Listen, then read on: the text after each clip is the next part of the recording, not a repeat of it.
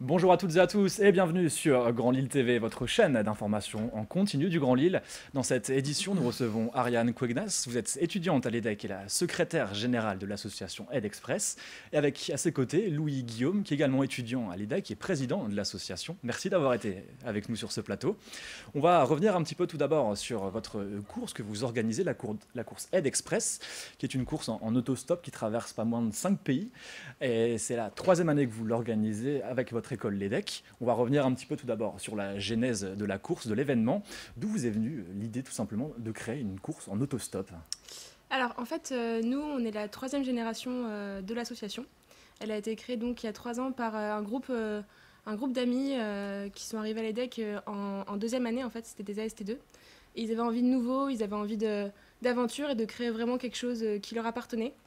Donc ils ont pensé à l'autostop et à une course un peu bah, sympa quoi. Enfin, c'était euh, vraiment, enfin, les valeurs de l'assaut au départ, c'était euh, bah, la rencontre, faire euh, faire une aventure à plusieurs et, découvrir quoi. Aller à la rencontre des autres, c'est ça l'idée.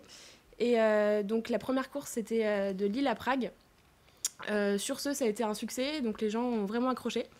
Donc l'année d'après, il y a eu des recrutements, une nouvelle génération qui a été formée. Donc la course là, c'est faite de Lille à Copenhague. Donc c'est là que nous on a intégré l'association avec Lou Guillaume. Et cette année, c'est nous qui l'avons vraiment organisé avec les nouvelles recrues euh, qui sont en première année. Euh, et donc là, ce sera à direction euh, Ljubljana dans une semaine. En Slovénie. En Slovénie, voilà. C'est la troisième édition justement qui débute ce dimanche 15 mai. qu'est-ce qui a pu changer en trois ans le parcours Vous venez de le dire. Mm. Et qu'est-ce qui a pu changer fondamentalement Plus de participants peut-être pour, pour vous, Louis-Guillaume Alors effectivement, on a plus de participants chaque année même si on a un, long, un nombre qui reste limité, puisqu'on ne peut pas envoyer euh, plus d'une centaine de personnes sur les routes. Donc nous, on se limite à 60 personnes, en comptant euh, le staff organisateur. Et euh, donc ça, c'est pour le nombre de participants. Ensuite, nos participants se sont largement diversifiés, puisqu'on a un événement qui est ouvert pour moitié aux étudiants de notre école, l'EDEC, mais aussi pour une autre moitié à tous les extérieurs. Donc l'an dernier, on avait des, étudiants euh, qui faisaient la fac de philo, euh, d'autres qui étaient apprentis boulangers, et cette année, on a des internationaux qui participent, puisque dans notre propre staff, on a des, Erasmus, des Chinois. Donc, c'est une volonté de votre part, au final, de, brasser, de mixer un maximum de, de, population, de personnes différentes. Ça. Et puis l'idée, c'est vraiment de garder un petit groupe aussi pour garder une bonne ambiance. Enfin, L'année dernière, à la fin de la course, on se connaissait tous, on, on se voyait encore après, ou des petites soirées ensemble. Enfin, c'est vraiment l'idée de quelque chose de faire quelque chose personnel quoi pas, pas d'impersonnel pas de enfin on se connaît tous quoi donc euh, c'est pour ça le but c'est pas d'être à 100 euh. Vous l'évoquiez justement euh, au tout début de cette interview l'échange la rencontre c'est le maître mot au final de cet événement et qu'est-ce qui se passe le soir pour les personnes qui ont terminé voilà la course en autostop? Qu'est-ce qui se fait pour eux? Beaucoup de choses, beaucoup de choses. Bah alors justement, ils viennent de passer, imaginez donc 60 personnes qui, vont, qui viennent de passer une journée sur les routes d'Europe, entre Lille et des destinations qu'ils découvrent chaque matin. Et donc, euh, ça fait 60 personnes qui, à peu près, prennent chacun euh, 5 voitures tous les jours.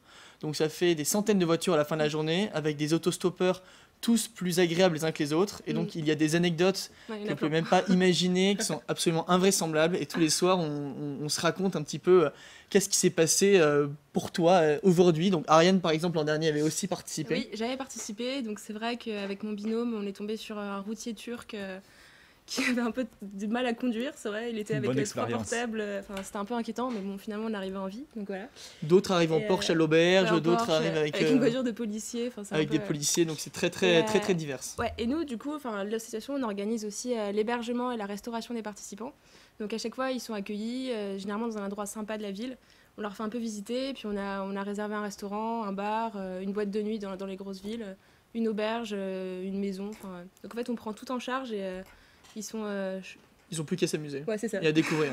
et là, à J-5, alors J-5 du départ, est-ce que tout est prêt ou il y a encore des petites choses à, peaufiner pour les équipes Il y a toujours des choses à peaufiner, mais c'est vrai que le, gros du travail est là. le gros du travail a été clairement euh, effectué pendant toute l'année grâce à notre euh, équipe. Parce qu'on est, de 20 personnes, ouais. On est 20 à organiser. Et ensuite, il reste bien sûr quelques détails à peaufiner. Mais bon, ça, ce sera. C'est ce qui fait le charme de l'assaut aussi. Ce sera la magie du départ. Donc 5 cinq, pays traversés, 7 villes également. Et il me semble que les villes sont découvertes au fur et à mesure par les participants. Vous ne donnez pas le... Non, non, c'est la surprise. Et euh, ce qu'on aime, c'est vraiment alterner les grosses villes qui sont généralement faciles à relier et euh, les petits bourgs un peu paumés. Euh, là, c'est plus compliqué, mais. mais ça a tout autant de charme. C'est ça. Plus de charme, même encore. Donc, il y a une diversité dans le parcours. On choisit des, des espaces un peu montagneux, des lacs, euh, des capitales culturelles, vraiment une- une- un large choix. Avec nous, les étudiants en une semaine voient vraiment beaucoup de beaucoup de pays. Une euh, diversité des paysages Ouais, au des final. paysages euh, et des personnes rencontrées. des langues, de- des ouais. personnes. Très bien. Bah, écoutez, Ariane Cognas et Louis Guillaume, merci d'avoir été avec nous Bah, sur rien. ce plateau. Merci, euh, On rappelle que votre association EdExpress organise une course en autostop du 15 au 23 mai prochain. Cinq pays traversés et pas moins de 7 villes étapes de Lille à Ljubljana pour les 48 participants. L'EDEC justement qui participe. Et c'est la fin de cette édition. Merci d'avoir été avec nous. Belle journée à toutes et à tous sur Grand Lille TV.